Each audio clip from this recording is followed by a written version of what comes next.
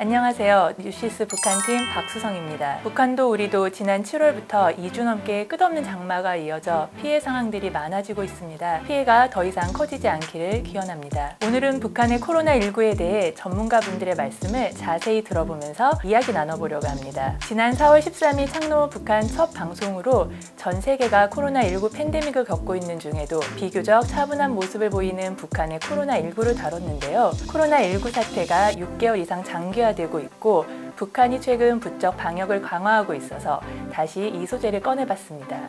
3주 전쯤인 지난 7월 18일 북한으로 돌아간 개성 출신 탈북자가 코로나19 감염자로 의심되는 석연치 않은 조사 결과가 나왔다고 북한이 발표한 적이 있었죠. 이를 계기로 김정은 국무위원장이 지난달 25일 당 정치국 비상확대 회의를 긴급 소집해 1월에 발표했던 국가 비상 방역 체계를 6개월 만에 국가 최대 비상 체계로 전환하고 특급 경보를 내렸습니다. 북한 매체들은 이달 들어 지난 1월 코로나19 초기 때보다 오히려 더 방역을 강조하고 있습니다. 북한이 정말 비상 상황에 빠진 건 아닐까라는 느낌마저 듭니다. 그렇지만 북한은 여전히 확진자가 한 명도 나타나지 않고 있다는 게 공식 입장입니다. 북한의 코로나19 사망자가 500여 명에 이른다는 주장들도 있었지만 우리 정부나 세계보건기구는 북한 당국의 발표를 기준으로 평가하고 있습니다. 세계보건기구 평영사무소장은 지난 5일 현재 3,600여 명이 격리 상태라고 전했습니다. 지난달 격리자가 610명이었던 것과 비교하면 크게 늘었는데요. 월 북자와 1차 접촉한 사람들 그리고 2차 접촉한 사람들까지 모두 40여일 동안 격리시켰기 때문이라고 합니다. 그렇지만 세계보건기구 평양사무소는 월북자 검사 결과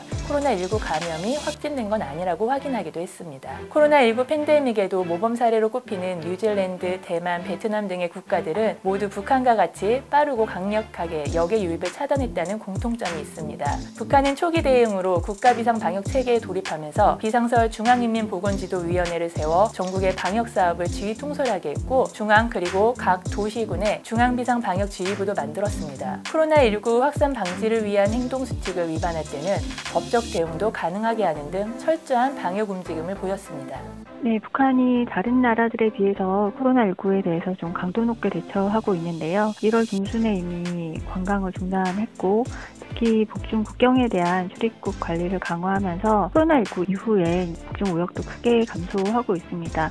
이렇게 좀 강도 높게 대처하고 있는 것을 볼 때 좀 보건 의료 상황이 열악한 것으로 추정해 볼 수 있습니다. 일단 북한이 이번에 코로나 사태에서 볼 수 있듯이 어떤 감염병이 유행되는 시기에 가장 먼저 하는 거가 이제 역학 고리를 차단하는 이거부터 이제 수순에 들어갑니다. 북중 국경 차단부터 시작해 가지고 모든 지금 북한의 주민들의 이제 이동을 차단하고 평양으로 향하는 모든 통로들을 차단하는 대책을 취했는데요. 이것은 한국이나 미국이나 북한을 제외한 다른 과들보다 북한이 확실하게 할 수 있는 그런 부분인 것 같습니다. 북한은 기존의 그 체제 유지 차원에서 주민들의 그 이동이라든가 그리고 지역 간의 이동 이런 것들을 그 어느 국가보다 철저하게 통제하고 차단하고 있는 그런 시스템을 지금 몇십 년 동안 유지하고 있는데 이번에 코로나 사태에서는 방역 대책에서 기존의 이동과 통제를 훨씬 더 강화했다. 아, 요거를 이제 북한 특유의 그런 나름의 관리 방식이라고 이제 볼 수 있겠습니다.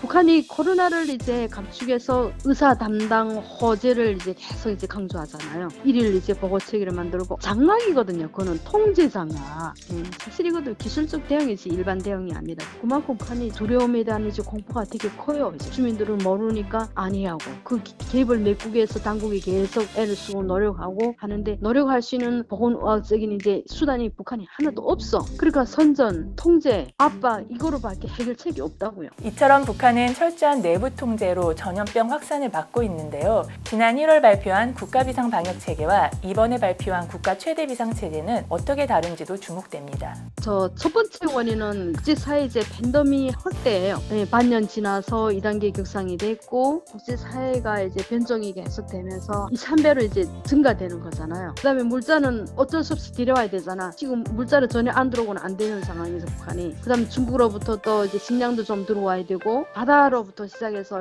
어선들하고 거기서 또 물물 교환을 해요. 그 어느 틈에는 코로나가 묻어 들어오고 오니까 무서워서 세대 이상 제재를 이제 가동하는 거잖아요. 한 일촉 촉발의 위기가 발생한다는 이런 식으로 이제 강조를 하는 거지. 주민들이 오히려 안 해야 해야지 당국은 두려움을 애초부터 가졌어요. 당국은 주민들은 자기가 피부로 못 느끼면 전혀 모르는 거지. 왜냐면 바깥 세상 볼 수 없고 주변에 코로나 환자를 못 보고 이러니까.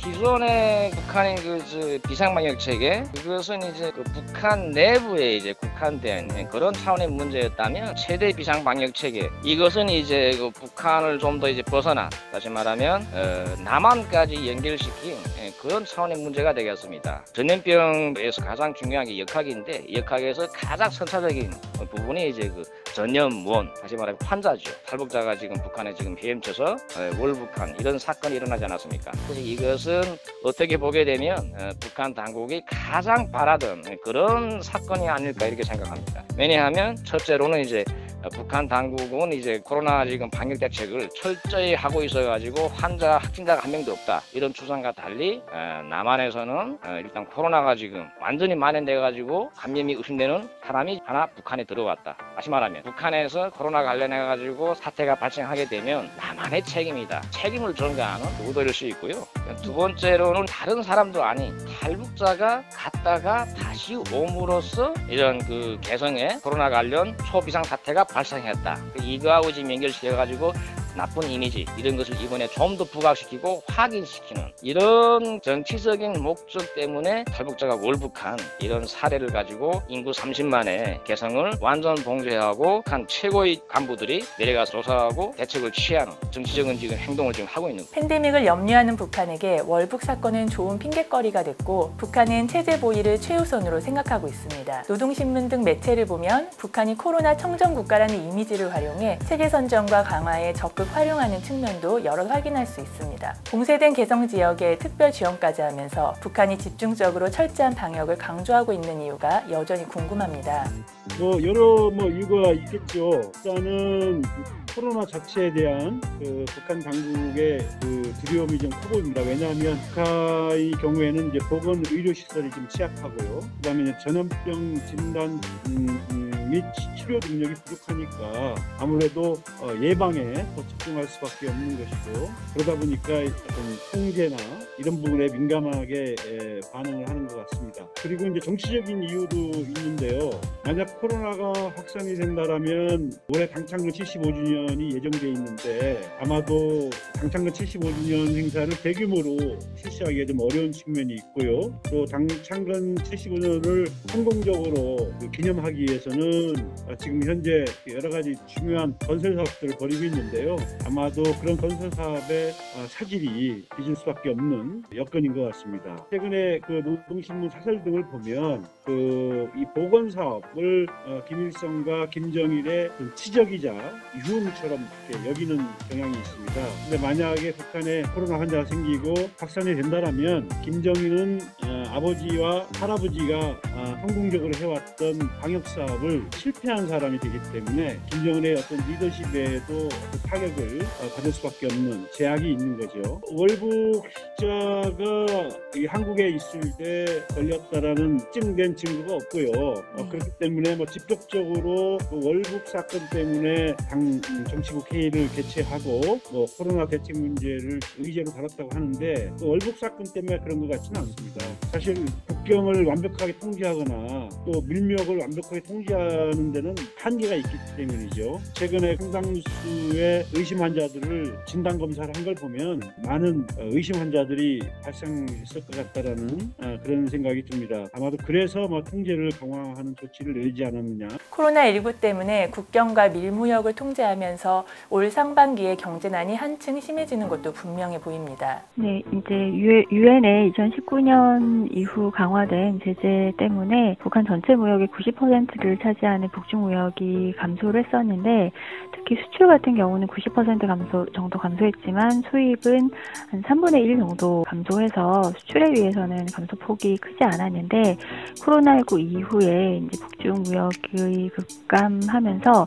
수입도 같이 큰 폭으로 줄고 있는 현상이 발생을 했고요. 특히 식량이나 소비재 같은 경우에 중국 수입품에 의존하고 있는 부분이 있어서 어, 코로나19로 수익 감소가 북한 가계에 좀 영향을 미치고 있을 것으로 보입니다. 주민 생활에 직접 영향을 미치는 쌀과 같은 생필품의 물가 변동 현상도 있었습니다. 어, 지금 전체 추세를 보면 2, 4월에 상승한 이후에 5, 6월에는 안정화 추세로 돌아서서 이러한 추세가 7월에도 유지되고 있는 것 같습니다. 그래서 우리가 뭐 정확한 정보가 있는 것은 아니지만 그 언론 매체들을 종합해 보면 어, 북한 당국이 시장에 한도 가격을 부과하는 등 좀 개입하고 있는 흔적이 보이는데 이러한 그 개입이 조금 실효성을 나타내고 있다라고도 볼 수 있을 것 같습니다.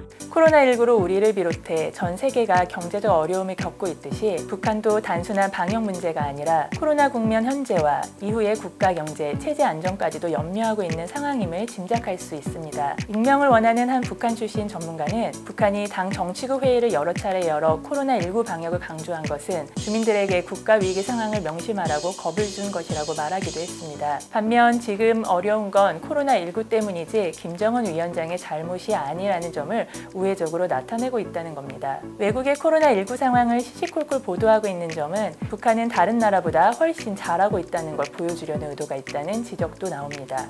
한편 북한에 소식통이 있는 탈북자 단체들도 북한 내부에 코로나19 감염자가 발생했다는 소식을 전혀 파악하지 못하고 있다고 합니다. 코로나19 문제가 체제 유지와도 관련이 큰 문제인 만큼 정보가 유출되는 걸 철저하게 통제하고 있기 때문이 아닐까라고 추정하는 사람들이 많습니다. 북한 주민들조차 자신이 사는 지역에서 환자가 발생하지 않는다면 다른 곳에서 환자가 발생했더라도 알 수가 없는 상황이라는 겁니다. 북한 당국이 환자가 발생하면 위로만 보고하고 인접 지역에는 알리지 않도록 엄격하게 막고 있다고 북한 내 소식통을 가진 탈북자들이 말하고 있습니다. 창노머 북한 많은 관심 부탁드립니다. 감사합니다.